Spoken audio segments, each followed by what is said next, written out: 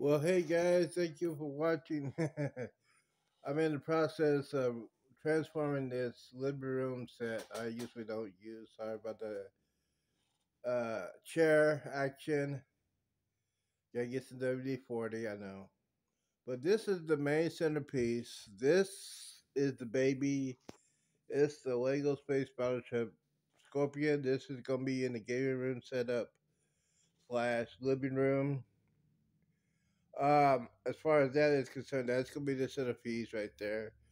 Uh, one of these chairs, hundreds, is gonna be the centerpiece right there. Now, my question is to everybody that's watching this: Should I put my computer desk on that wall right there, or should I just put it on the side over here?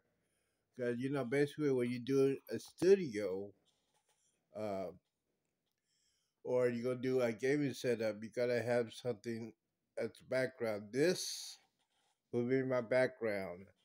So, uh, what do you recommend? Do you recommend put the gaming setup there, or the gaming setup right here? Uh, there's an outlet right over here. So yeah, it's one of the outlets. I know I got a lot of work to do. I gonna take one of these chairs out I'll probably just this one here and put it in the kitchen, uh, dining area. Uh, I'm gonna do some minor details on that, but yes, unfortunately, I gotta have white walls, but there has to be a covering. I can put posters up. I could put uh, pictures up. Uh, I got some stuff from my dad's military stuff. I might put the, the his flags and stuff like that. I can put that on the wall. But basically, this is the part two of the beginning. As you see, you see all kinds of stuff up there. I don't want to show you the other part. Other part is full of junk. But this is the beginning. For the next couple of days, I'll be working on it. Um, I had not figured out what kind of uh, computer desk I'm going to get I gotta use my one of my old PCs. Gonna try to get it started up.